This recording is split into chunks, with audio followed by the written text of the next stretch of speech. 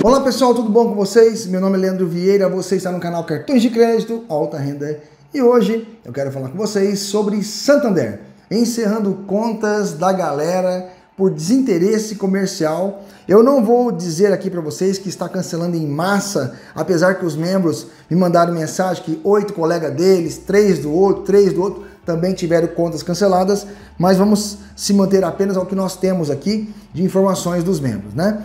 Tivemos aí e-mails, cinco e-mails de membros do canal com a conta cancelada, encerrada pelo Santander, dois membros do canal Black Card Luxo com a conta encerrada, mais três amigos de um membro do canal com contas encerradas também, do Santander por desinteresse comercial. Vamos dar uma lidinha o que está acontecendo referente ao tema. Todas as cartas são iguais. Apesar que eu recebi aqui todas as cartas, o texto só muda o nome da pessoa e o cartão, o restante é tudo igual. É sobre esse assunto que iremos tratar aqui no canal hoje.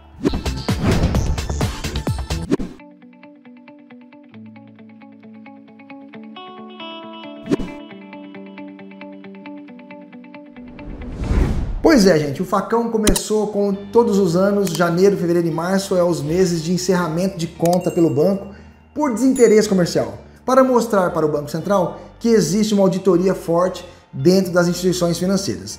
E por sinal, acontecendo o cancelamento da galera por desinteresse comercial. E aí eu vou ler para vocês o que, que o Santander vem mandando para os clientes, né? Eu vou é, não expor o nome das pessoas que estão aqui, mas a carta é idêntica para todos, tá? Vamos lá. É, fulano de tal, nome dele, São Paulo, a data. Então aparece assim, por exemplo. Encerramento do relacionamento. Veja, todos os produtos a ser encerrados. Prezado senhor ou senhora, verificamos que a movimentação da sua conta não está de acordo com os, os padrões esperados para o seu perfil, o qual é definido a partir das informações cadastrais que você nos forneceu e outras fontes disponíveis. Portanto, estamos iniciando o processo de encerramento da mesma, conforme previsto nas condições gerais de abertura de conta e da contratação de produtos e serviços. Pedimos a gentileza de comparecer à agência até 30 dias para resgate de aplicações financeiras, saques ou regularização do saldo da conta e cancelamento de seus produtos, bem como a entrega do cartão e do talão de cheque folhas que eventualmente estejam em seu poder. Caso não compareça nesse prazo, o processo de encerramento seguirá seu fluxo igualmente. Qualquer saldo existente ficará à sua disposição nas agências após o encerramento. Você poderá continuar pagando seus financiamentos se tiver, mediante a boleto bancário. Atenciosamente, Santander Brasil e duas assinaturas de quem autorizou né, o encerramento da conta. No outro membro é a mesma coisa, só muda a data, né? Por exemplo, isso vem acontecendo desde novembro para cá. Então, de novembro, dezembro, janeiro, fevereiro é, e março são os meses que pode acontecer isso. Então, se você receber uma carta em novembro, dezembro, janeiro, fevereiro e março, isso é natural pelos bancos, tá? Nos outros meses também acontece, mas com a menor frequência. Eu nem vou ler de novo as cartas aqui que chegaram para mim, porque é tudo igual, só muda o nome da pessoa, tá? E por que, que eu estou trazendo esse assunto para vocês?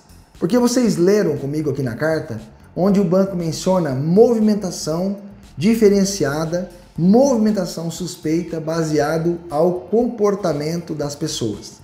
E aqui no canal, vocês sabem que eu prego muito para que vocês tenham uma vida financeira, uma educação financeira de qualidade. Né?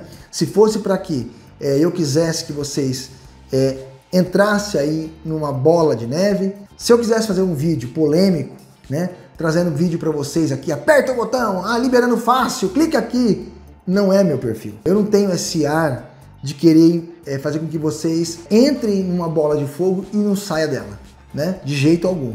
Aqui nós postamos diariamente vídeos, explicamos sobre bancos, conta corrente, investimentos, entre muitos outros assuntos. No entanto, eu gostaria que é, poder explicar para vocês o que é isso e como que isso acontece, né? E só para que vocês saibam, eu muito triste estou por saber que esses membros que me mandaram esse e-mail são membros próximos de mim. São colegas que estão no Black Card Luxo, são colegas que estão no Iniciante, no Pleno, no Amo Alta Renda, são inscritos do canal que me conhece e muito triste estou por ter sido essas pessoas, porque nós temos um vídeo no canal onde nós mostramos assim quer pagar para ver esse vídeo. E muitas pessoas que vêm perdendo suas contas com o banco, às vezes tem vergonha de falar, perdeu a conta, não quer se manifestar, é um direito, não tem nenhum problema, mas chegar a esse ponto de você perder uma conta por movimentação que o banco geriu ali como suspeita, não é legal para você. Né? Então, diante do que está acontecendo, eu estou aqui para poder orientá-los para que tentar evitar que você seja mais uma dessas pessoas que estão perdendo a conta no banco e nos bancos por movimentação suspeita. Quando você tenta movimentar uma conta em um banco, né, de forma acelerada, ou seja, é, você começa a jogar dinheiro no Pix para o banco de todos os valores. Só que você se esquece que até essa data aqui, você malemar conseguia mandar mil reais para o banco para fazer uma movimentação. Do nada, a sua renda cadastrada é dois mil, três mil, quatro mil, cinco mil, vinte mil reais. E do nada você começa a aparecer com 100 mil, com 200 mil na conta do banco. Ou seja, você fala para os seus colegas, para os seus amigos, manda para mim que eu mando para você, manda para mim que eu mando para você, acreditando que você nunca vai ser pego, né, fazendo isso. E aí acontece isso que está acontecendo aqui agora. Movimentação suspeita, movimentação fraudulenta. Né? Você frauda uma movimentação para poder gerar mais limites. Você frauda o sistema para poder mostrar que você tem uma renda maior. Você chega até mesmo a enfrentar um gerente para falar: olha aqui minha movimentação, é 50 mil reais, é 100 mil reais. Sendo que na verdade você sabe que você não ganha isso. Você jamais teria uma renda como essa. Mas no seu íntimo, é, fazendo isso, vai agradar a você, vai vir coisas boas e pode acontecer isso. Pode realmente, com essas grandes movimentações, você ter realmente conseguido um cartão Santander Unlimited, você pode conseguir um cartão Unique, você pode ter um Smiles Infinity, um Decolar Infinity, um Platinum Elite, você pode ter uma linha de crédito robusta, você pode ter um financiamento de casa, de carro. Aqui, aqui no canal Black Card Luxo, Três membros com financiamento imobiliário perderam a conta por desinteresse comercial. E aí você se pergunta, como, Leandro? Se eu fiz financiamento imobiliário, o banco fez toda uma análise? Não, senhor. Financiamento imobiliário é um outro departamento que faz, que estava ligado à Accenture, que não tem nada a ver com o Banco Santander. A agência, a sua conta, não tem nada a ver com a análise que foi feita pela Accenture. Então, uma coisa é um financiamento imobiliário, uma coisa é você ter os produtos do banco, cartões de crédito, especial, empréstimo, entre outros mais. No entanto, quando o banco toma uma decisão como essa, você vai arcar com todos os ônus e bônus também. Né? Então, se você tem um financiamento imobiliário e você tinha uma taxa de juros X e ela é atrelada à conta corrente, você vai ter que discutir isso daí com o gerente, com o advogado, para ver se o banco não vai ceder para você ter que pagar a menor taxa. Né? Porque muitos fazem o financiamento imobiliário com uma taxa X por ser cliente do banco. Né? Deixa lá mil reais na poupança, movimento cartão, não paga tarifa e teoricamente você não teria que pagar as taxas abusivas do financiamento imobiliário. Né? Então, se você chegar a esse ponto de ter a conta encerrada por desinteresse comercial, é porque você pagou para ver. Né?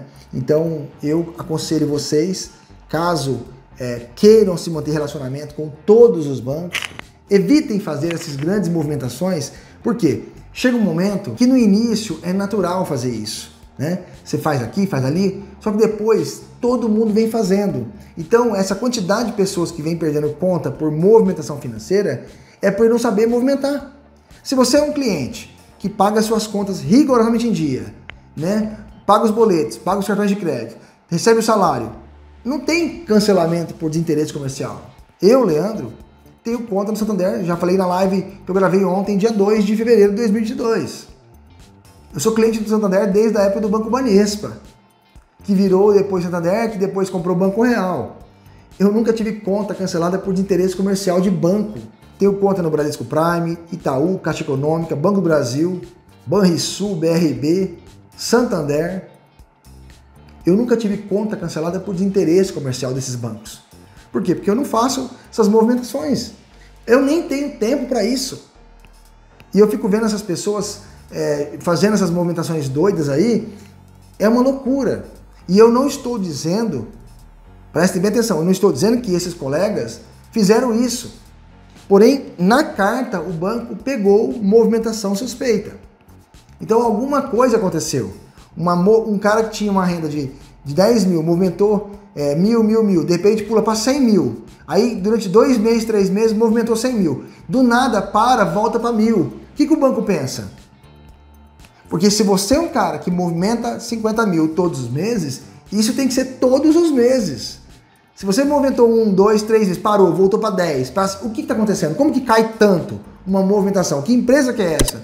Que dá 10 mil, do nada vai para 50. De 50 cai para 10. De 10 vai para 15. Aí nos outros, então alguma coisa tem, tem de estranho, tem coisa errada. Você precisa andar numa linha linear e mostrar para o banco que você realmente tem uma movimentação que é decente, que é idônea, né? E vocês sabem muito bem que muitas pessoas que são malandros não gostam de ouvir isso, né? Querem que fica falando que é não sei o que, que blá blá blá. É a pura verdade. Vocês estão diante de uma pessoa que está é, literalmente envolvida com banco desde os 16 anos de idade. E eu tenho conta nos bancos desde a minha época dos 16 anos de idade. Então, assim, experiência com isso é o que eu mais tenho.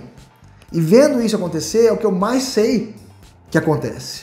Né? Então, é mais um vídeo aqui para ajudá-los a evitar que vocês passem por isso, né? que possam é, continuar tendo a conta sem perder aí o seu lastro com o banco, tá certo? Tá aí para vocês mais um vídeo para ficar esperto, atentos a essas movimentações, para que você não seja mais um para contar a história, tá certo? Pessoal, eu espero que vocês tenham gostado desse vídeo. Vamos para os abraços, então? Maurício Bueno, um grande abraço. Emerson Jack, um grande abraço. Curiosidades e diversão, um grande abraço. Antônio Jackson, um grande abraço. Solange Andrade, um grande abraço para você também. Pessoal, eu espero que vocês tenham gostado desse vídeo. Até o próximo.